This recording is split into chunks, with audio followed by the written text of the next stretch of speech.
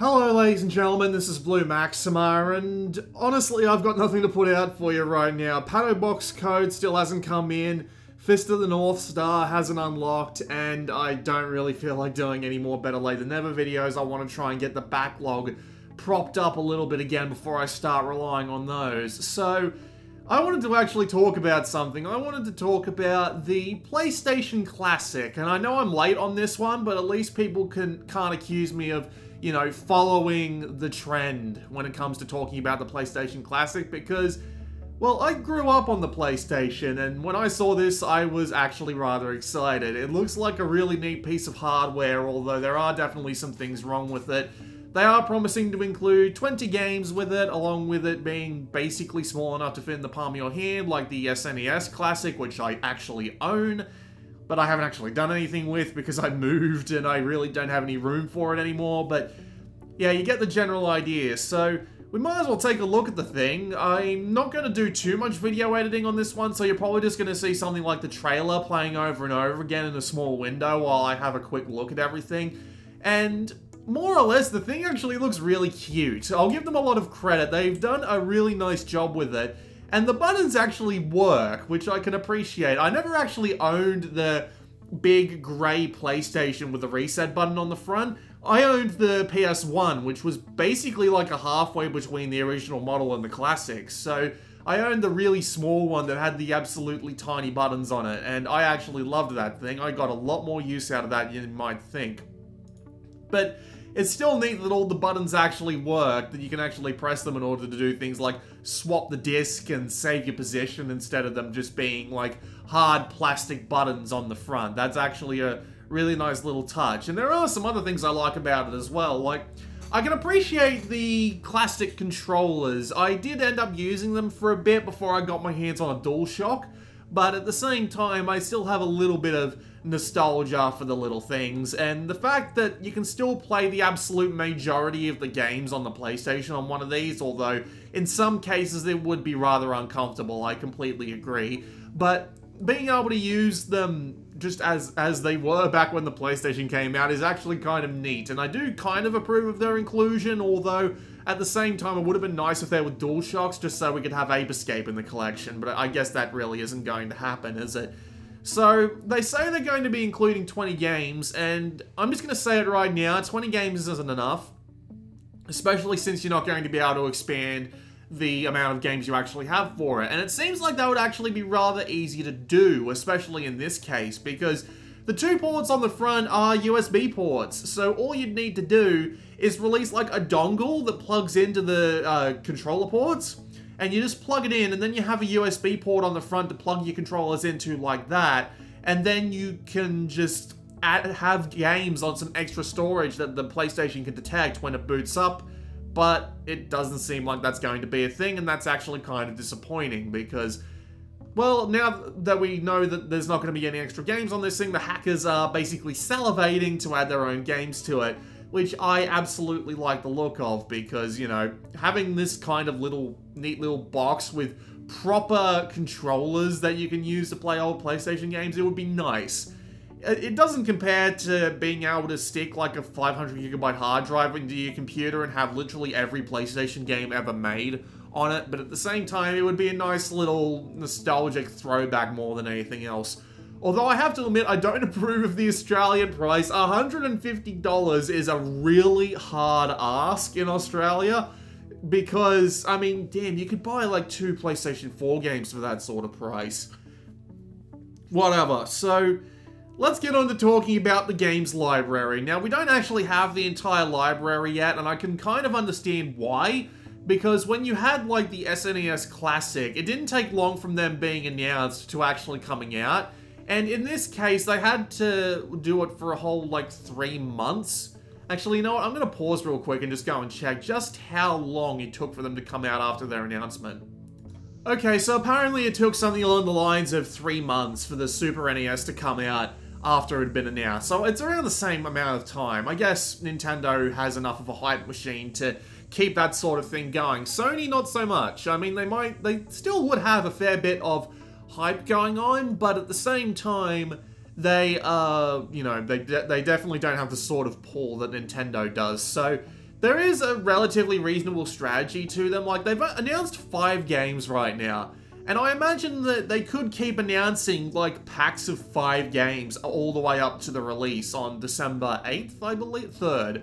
December 3rd. So, I imagine that about halfway through this month, and then at the end of the month, then about halfway through November, they could just pace it out every couple of weeks in order to keep people remembering that the PlayStation Classic is going to be a thing. But I will say that the five they've picked so far are all very solid choices. Final Fantasy VII is, like, obvious. I can't believe they would release a PlayStation Classic without Final Fantasy VII. Then you've got Tekken 3, which, like, the best fighting game on PlayStation. Like, seriously? Just just in general? Like, you could make an argument that Bushido Blade is better in some ways, and you could make an argument that a game like Bloody Roar is better than better in some ways. Tobal or Battle Arena Toshinden or whatever, but Tekken 3 is probably the one choice you want for, you know, having as much impact as humanly possible. You've also got Ridge Racer Type 4, which uh, personally I'm not a big fan of, but whatever. You can have whatever games you damn well like on this thing, and, well, to be fair, Ridge Racer Type 4 is a pretty big hitter in the way of PlayStation games, so I can approve of its inclusion, although I wonder if they're going to be releasing a new Ridge Racer on the PS4 or Xbox One soon. Nevertheless, there's Wild Arms, which personally I haven't played, but to be fair, when you hear about PlayStation 1 RPGs, Wild Arms is usually at the top of the list, so I'll give them all the credit in the world for that one, for including something that people would probably remember as being a PlayStation game and one of the big ones too. And there's also Jumping Flash, which admittedly I didn't have much experience with until I, um, I'm just typing something real quick. I didn't have much experience with until very, very recently, as in a couple of days ago. I picked up the, I picked up a copy of it and played it on an emulator, and it's actually surprisingly good. So I'm not going to argue with its inclusion either. It's a very unique game. It's not like anything I've ever actually played, so its inclusion on here should hopefully give it a few extra eyes. I'll give it a fair amount of stuff for that. So, I actually wanted to talk about some of the games that I wanted included with the uh, PlayStation Classic, but the thing is, a lot of the games I would usually say are games that will either A, be included, or B, not be included for very, very specific reasons like licensing. So obviously I can't say games like Tony Hawk's Pro Skater 2 or Gran Turismo 2 or games like that, right? Games that are just branded or, you know, Pepsiman. Imagine if they included Pepsiman on this thing as one of the 20 games. People would freaking riot in both sides of the aisle. There would be people who do not want this shit anywhere near the PlayStation Classic, and there would be people who would be literally praising Sony on their hands and knees for that one. But I don't think that's going to happen, so what I'm going to do is I'm actually going to talk about some of the games that I think I would like to be included, but at the same time are probably not going to be included for one reason or another. Except for the first one I want to talk about because I think it would be an absolute travesty if this one wasn't included. So I'm just going to say the words Syphon Filter and then play a clip of one of my favorite Let's Plays of the game just to give you an idea of how fun these sorts of games are. You know, when I throw between his fucking legs. Wow. Oh, Well, okay, you got one of them at least. there we go. oh, yes! well, oh my gentle god, that was incredible. When the charges are set, I'm gonna call for an evac of the bridge and then we blow it. Until then, everyone keep watch for locusts.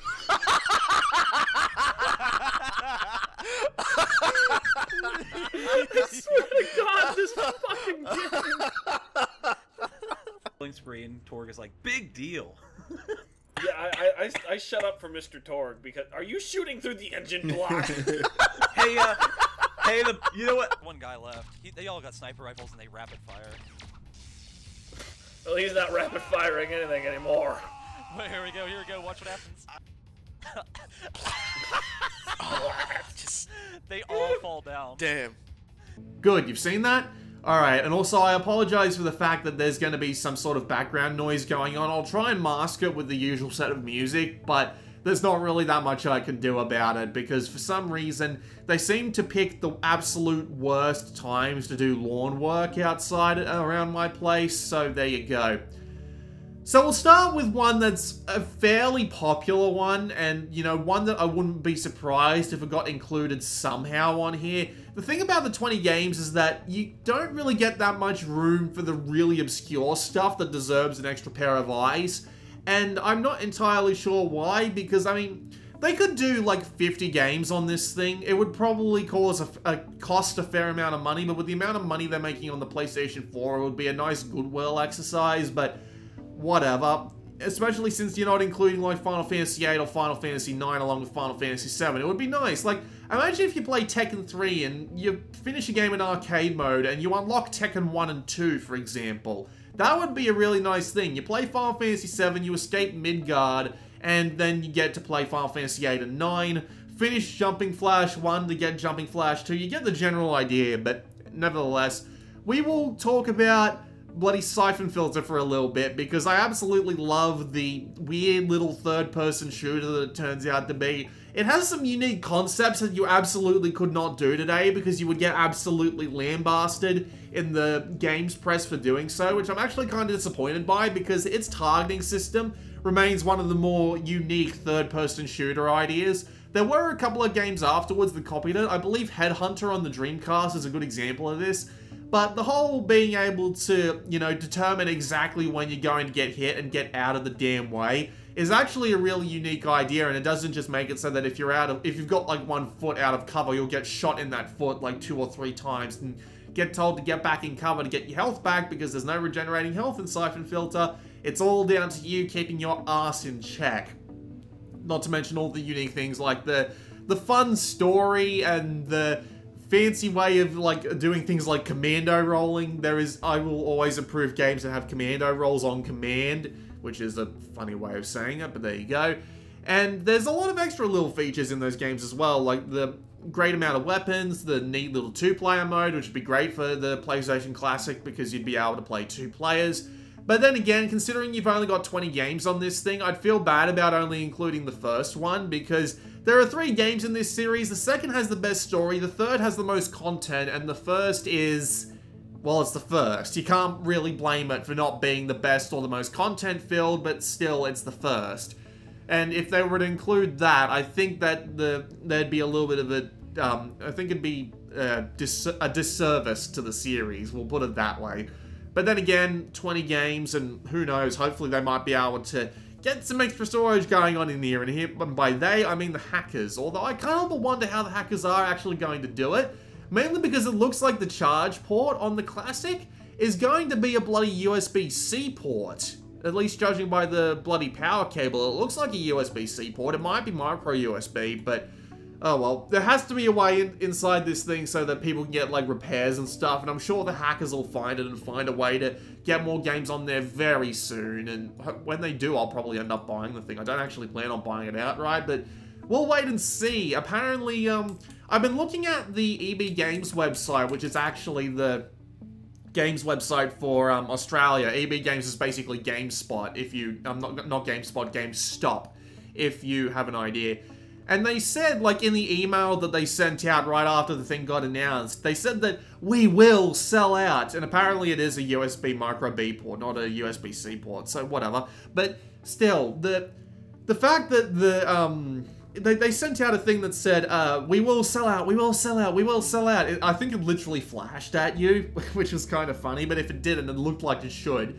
And they said it was going to sell out, but it's been, what, like a couple of weeks now since they announced the original, uh, since they announced the PlayStation Classic, and it hasn't sold out yet. They haven't blanked out the button or anything. Now, the NES Classic and the SNES Classic, those sold out immediately, like a snap of the fingers. So the PlayStation Classic not selling out is interesting. Maybe they're making more uh, more hardware for the PlayStation Classic. Maybe there's not as many pre-orders, at least in Australia anyway. I'm not going to claim to know what's going on at um, GameStop uh, or like any other European retailer, but yeah, that's the Australian situation right now. So let's get on to some of the more obscure games. Now, again, there are reasons one way or another I don't expect some of these to be included, and we'll get on to why those are as we get to them, but at the same time, just, yeah, be, be aware there's a few games in here that might make it on by the skin of its teeth or via one piece of functionality in the game that might make it a really good addition to the PlayStation Classic, but this is more or less a, se a, section where I get to talk about PlayStation games that I love that wouldn't show up on the PlayStation Classic and will probably give me a reason to mod the thing, so there you go. We'll start with Bushido Blade. Most people know this one, but in case you don't, it's basically...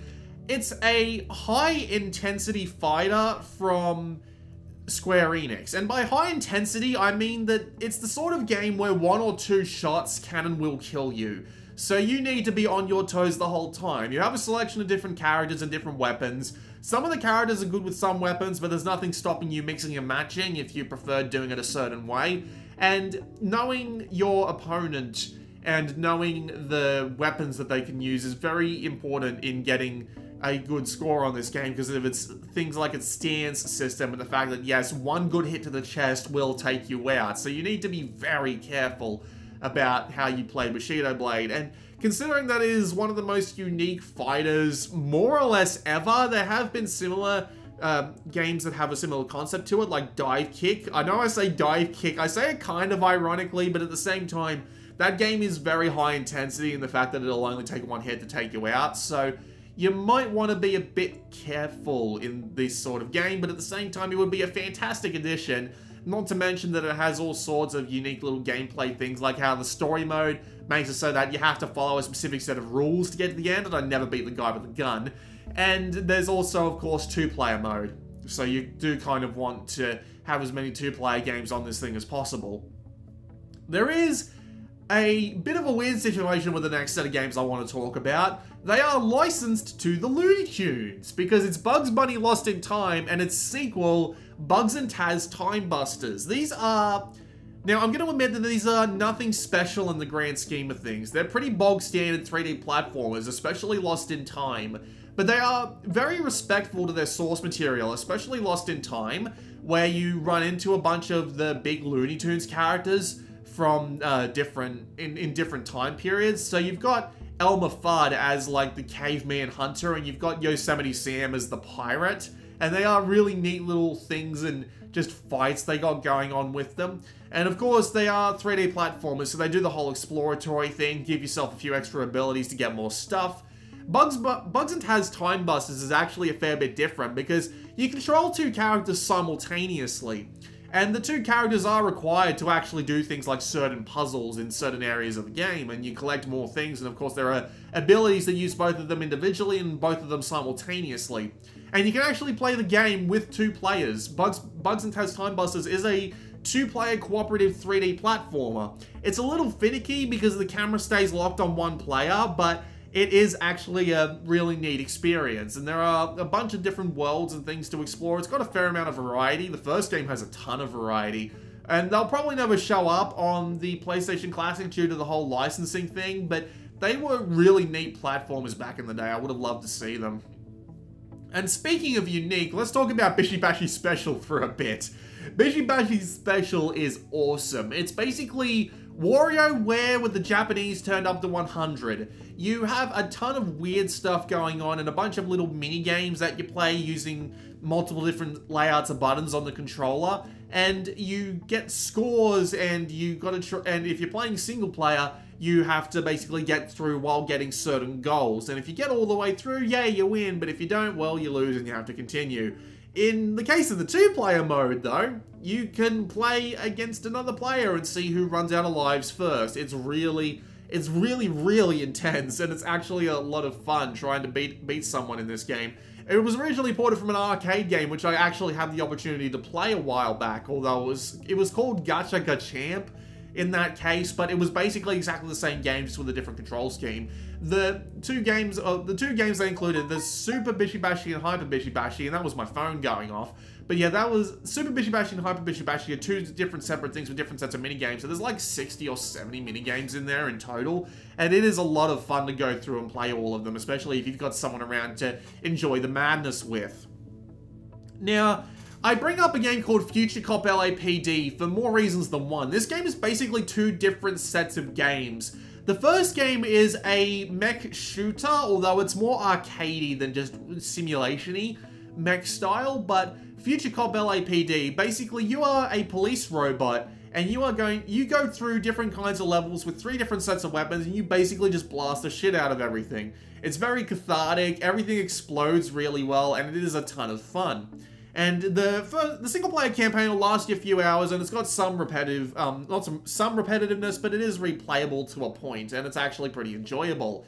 The main reason I want to include this one on the PlayStation Classic, though, is because of its secondary mode. Now, there are games that did do this concept before the um, Future Cop LAPD came along, mainly Herzog Zwei, but at the time, Herzog Zwei had come out before I was born, so I kind of, um, I kind of never got to play a game like this before Future Cop LAPD, and to be fair, there are still very few games like this one, so it is actually kind of neat. So, it's kind of like a one-player MOBA. Now, I say that in a sense that there are probably better ways to describe it, but basically, you command the same robot, and you go and you take over facilities using little drones and helicopters that come out of your thing. You get resources and you spend them in order to actually increase your trooper force. So you can do things like uh, buy up a ton of individual troops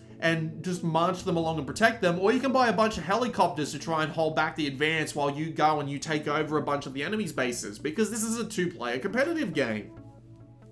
You do get a AI player, for example. The AI player is actually a fairly competent one, but still, excuse me, it doesn't actually beat playing against another human player. And it is actually a really cool time to go and just fight the other player head to head. If you both try and take over the same base at the same time, you'll both run into each other with a bunch of helicopters and turrets and just it, it, it, can turn into absolute madness and it's a hell of a lot of fun just get going in and embracing the chaos Admittedly, I spend more time on that mode than I spent on any other, uh, and then on the actual single player campaign, so it, it's a shame they never actually improved on it, but there you go. G-Police. I am a big fan of G-Police. I'm not usually into like the sort of first-person view spaceship flying games, but I can appreciate a really good one, and G-Police is a really good one. It takes place in a massive city with a bunch of different domes with lots of buildings in them. There's a ton of different missions, each with their own separate objectives, and it is really hard. Like, you need to put in a lot of effort to keep up with G-Police. So you do want to... Uh, you do want to play this game on a DualShock, admittedly, because it does have some extra controls that help with that, but you can play it on a uh, regular old PlayStation pad that works. It's just a little bit iffy on the control side of things, but at the same time, it's still really enjoyable. It can be really hard, I will admit, but the different sets of objectives, the overall combat capability of it, and just the the general, like, technical impressiveness at the time of it, because the draw distance isn't great, but the, the places are huge, and there's tons of things to see in the city, which is surprising for a game of this kind. And doing so, you can fight enemies in the air, or you even end up having to drop to ground level at one point, and you're literally just flying along in these tunnels, shooting like little human dudes that are around the side trying to take out a target that you're trying to protect, and it is it is a ton of fun going around and blowing the absolute crap out of everything. It's highly recommended if you're a fan of those sorts of games. Then we get on to a couple of racing games. I'm not going to bring up like Wipeout 3 or Motortoon Grand Prix or anything like that because those games are pretty likely to turn up on the PlayStation Classic in some form. But I got to admit that there are some games that I would like to see on here that probably aren't going to show up and I'm going to talk about two of them. One of them is Scars. Nobody remembers this game as far as I can tell. S.C.A.R.S. is a... It's kind of like a kart racer, but it's got this whole realistic, um, I'm just typing in the name of the game here just to make sure that I, yeah, that's, that. this is definitely the game I remember. I'm doing this mostly off the cuff, but yeah, it's basically a, it's, it's, it's kind of like a kart racing game, but it's all got, it's got this realistic sort of feel to it. Unfortunately, it looks like that S.C.A.R.S. was the game that killed them. They developed a Game Boy Advance game like four years after S.C.A.R.S., but then they just closed, which was unfortunate. But the the game is yeah, it's it's a realistic kart racer, but it's got all these vehicles that look like animals. So you've got sharks and lions and all sorts of other neat little things like that. and you've got really good looking tracks that have tons of like depth and variety to them and you have a really long campaign to go through with a bunch of stuff to unlock. It is a ton of fun to play. The physics are also great. Each car is very different in the handling and they are just they they are a ton of fun to drive and the weapons are a, a good lot of fun as well you've got all the pretty basic ones admittedly like you've got one that goes ahead and um, puts obstacles down for you to avoid you've got your missiles you've got your bomb that you have to pass on to other players but still, the game is a ton of fun, and it's got two-player split screen, so it would be a great little inclusion for this one. And hopefully I remember to actually do video footage of all of these. I'm probably going to be able to do that, but I'll just be ripping footage from all sorts of places. The other racing game I wanted to talk about is Rollcage. Now, Rollcage has actually gotten a bit of a resurgence recently. There is a game that's coming out on PlayStation, Xbox, and it's been in early access on PC for years at this point called Grip, which is basically the same concept.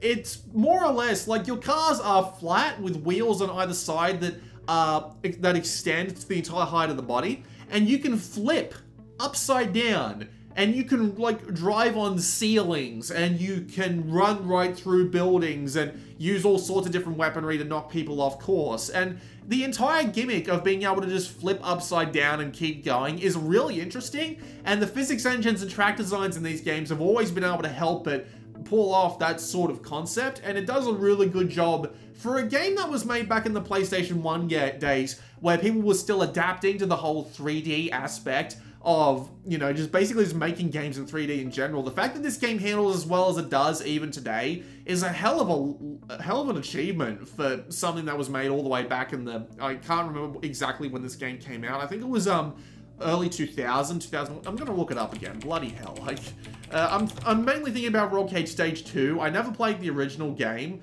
Yeah, it came out in 2000. So the the amount of effort that must have went into making this game feel so good is actually really impressive. I would fully recommend it for a console like this, and it does also have split-screen multiplayer, which would be a fantastic addition, because admittedly, uh, I'd like to see almost every game included in the PlayStation Classic have split-screen multiplayer, because I'd love to go and show my father these games. I think he'd appreciate some of them for their simplicity. Nevertheless, We'll move on to a game that I played an absolute ton of, but probably won't show up on the PlayStation Classic just because, you know, of its general, uh, what's the word I'm looking for?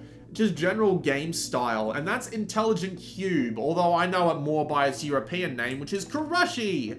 Kurushi is a puzzle game where blocks roll towards you and you need to wipe them out using a little selector that you place on the ground. But if you do something like get crushed, the blocks will fall away. It's uh, the length of the stage is determined by basically um, how many blocks you let fall off. So if you get crushed, the blocks will all run away and you'll probably die. It is a very complicated game because you need to do everything in a very specific order and you need to do it very quickly. It feels more like an action puzzle game than just your traditional puzzle game. It is really, really, uh, really, really intense and it actually gets really, uh, uh, what's the word I'm looking for? Uh, you really want to just go through and try and beat the game. And the blocks and stages can get absolutely huge, and there's a couple of different special kinds as well to help you out. It's a really unique idea, but I don't think they'd be putting a space on the PlayStation Classic for it unless they had like a hundred games or something like that, which is a shame. And I feel exactly the same way about the next game, next game I'm going to talk about, which is Devil Dice.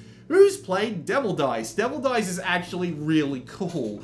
Eh, the the block the play fields are all dice. The dice is the dice rise from the ground, and you walk on them and you roll them using your feet. And you have to try and organize them in different sorts of ways. And there are a ton of different game modes as well. There's individual puzzle modes, there's an arcade mode, there's a mode where you literally fight other characters and try to remove all their health or crush them underneath your dice. It's actually got a lot of variety for a game like this. And of course, it's got four-player multiplayer. Of course, that isn't going to matter for the PlayStation Classic, but even being able to play it in two-player would be nice. And it's got, it's just, it's just really charming. And it's a shame that it won't be included because, well, they said they're only going to have 20 games on this thing and just doesn't seem like they're going to have room for Devil Dice, which is really unfortunate because it it would be a lot of fun to have Devil Dice on this thing, but I suppose not. my dog wants me, so I will return to this recording shortly. Alright, I'm back. So we got a couple of other things to talk about. Uh, we're about halfway through my games list, by the way. So there is one game that we know it's going to be included, or at the very least, it would be amazing if it wasn't, and that's Metal Gear Solid. Now, I'm not gonna I'm not talking about Metal Gear Solid here, but I just want to bring up that again, the whole thing about not being able to include an entire franchise or at least have like hidden unlockable games kind of works against the idea of the PlayStation Classic because being able to play through an entire franchise would be great, but I guess that's not going to be a thing. The thing about uh, the why I'm bringing up Metal Gear Solid though is because the game I want to talk about in this particular sense is Metal Gear Solid VR Missions. Now, Metal Gear Solid VR Missions was a separate disc in North America and Europe, but it was released with the uh, special release of Metal Gear Solid in Japan called Integral. And basically, it's 300 missions that extend the gameplay of Metal Gear Solid by a few extra hours in a lot of really interesting ways. So, one of my... Uh, Alright, I'll go over what the different missions are. So basically, there's a mode where you have to sneak through every stage. Then there's a mode where you have to do it as fast as humanly possible with higher difficulty. Then you've got modes where you have to take the specific weapons and use them to kill, like, targets or just um, general human enemies in the same way as you would in Metal Gear Solid. And then you have to do it again, but faster with a higher difficulty. That's the majority of the missions. And then, when you start getting above a certain percentage level, because the higher of a percentage completion rate you get on the missions, you unlock more missions. You start unlocking the special missions. Now, this, uh, they're probably called like um, advanced or something. I haven't played Metal Gear Solid VR missions in a couple of years, which means it's probably time for me to start replaying it again. But they give you a bunch of really special missions. Now, the special missions are really cool. There's a bunch of ones which literally have you being a bloody detective, trying to figure out who killed someone by relying on specific clues in the environment. Some of them are stupidly easy, but there's a couple that really take advantage of some of Metal Gear Solid's mechanics. Like, you have four different guards wandering around a snow-covered field, and you have to track the footprints of the one who actually did the murder.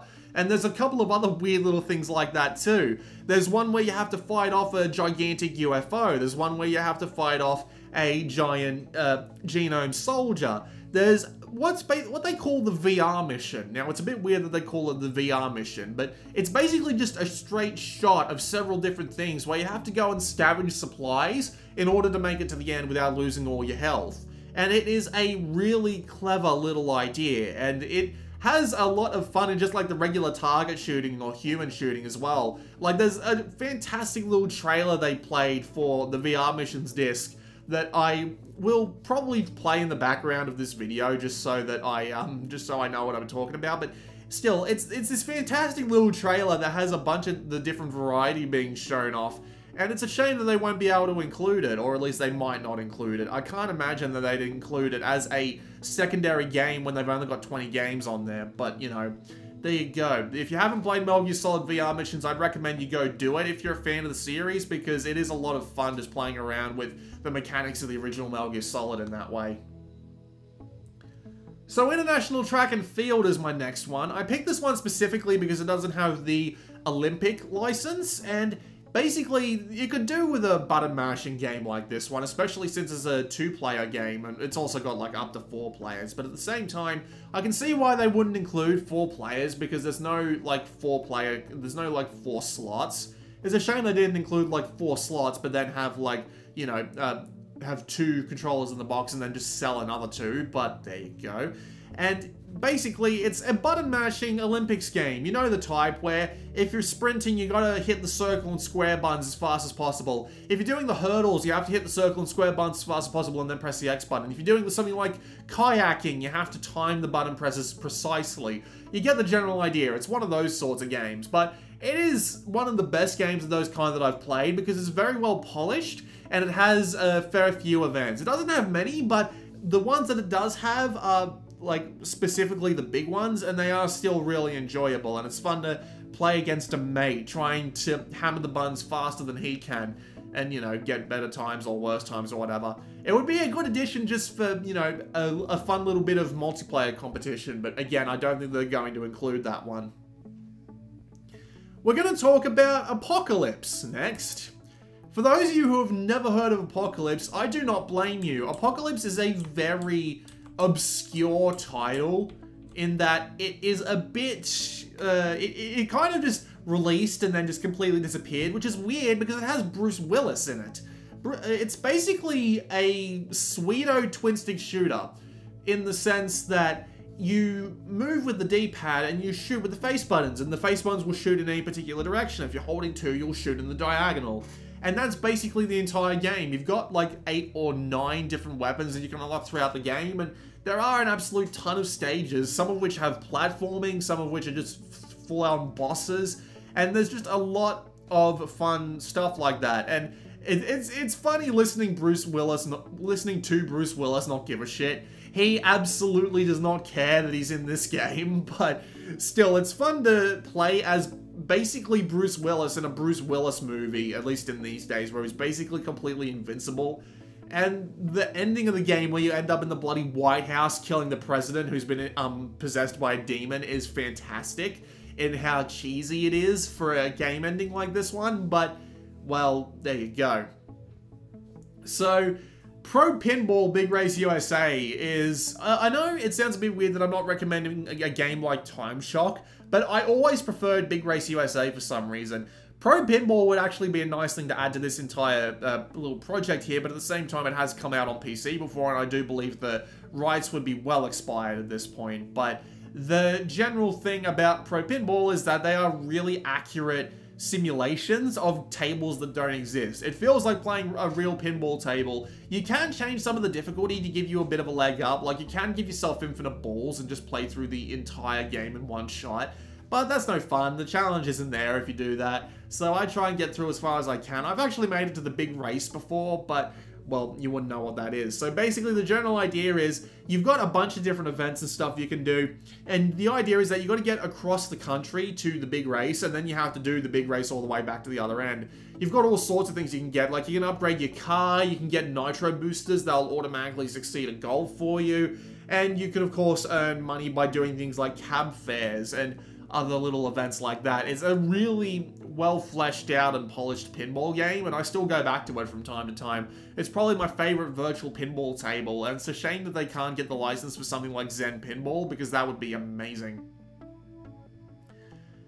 How many games have I talked about at this point? That's probably, um, like 13. Hang on, I'll count. 1, 2, 3, 4, 5, 6, 7, 8, 9, 10, 11, 12, 13, 14. Right, so if I wanted to pick one more game, what would I pick to go into the final slot? Obviously, this isn't going to be even remotely close to what's going to turn up on there, but hmm, what, what would I pick as my last game? Probably Wild 9. Has anyone ever heard of Wild 9? This game basically just completely disappeared after it first came out too, like poor um, Apocalypse.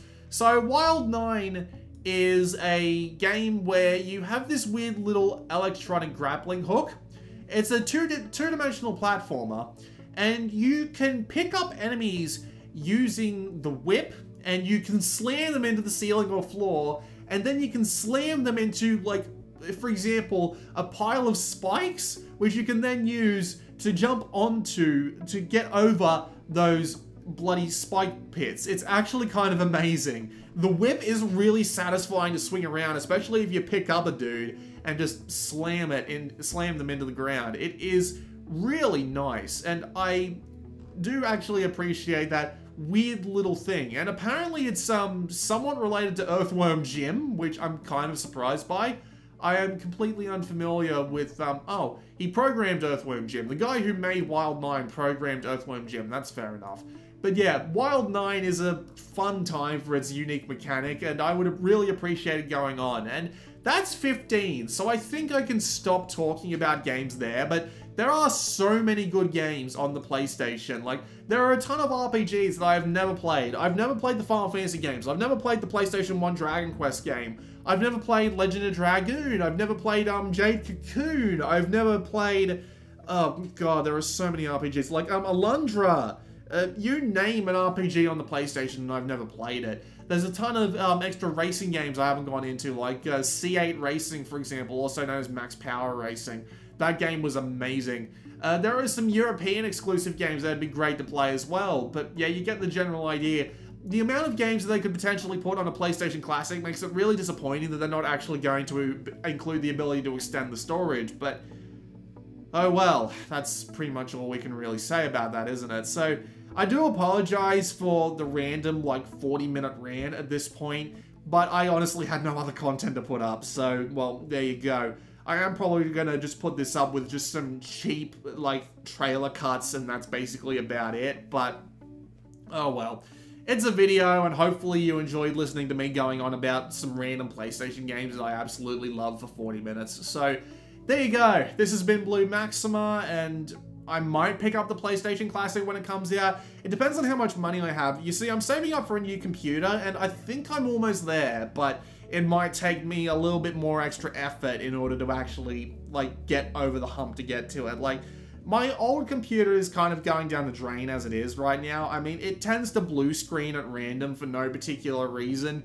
And I, I kind of need one that actually works, you know, for stuff like recording videos and stuff like that. But I'm also a PC gamer at heart, which means I kind of want to get something like a 1080 Ti. But, yeah, no, that, that crap can get expensive. And of course, they released cards that are so far above and beyond the bloody cost of the uh, 1080 Ti that I feel like only getting the 1080 Ti is going to be my best option at this point. So, yeah, you know the drill. So I will leave you with that. I, um, again, I might pick up the PlayStation Classic. It depends. If it, if I'm like down, like, hang on, what day is December 3rd? In Australia, December, well, I was about to say, it doesn't really matter. December 3rd is a Monday, okay. So if I end up being able to get down there, um, down to an EB Games on a Monday, maybe I'll pick one up just, like, on the face of it, but who knows. So yeah. Uh, hopefully I'll have videos for Box and Fist of the North Star Lost Paradise for you. I do have Fist of the North Star loaded on my PS4 at the moment, but again, I'm waiting for the countdown to... As of this recording, I'm waiting for the countdown to finish, so there you go. Uh, yeah, I'll see you all next time.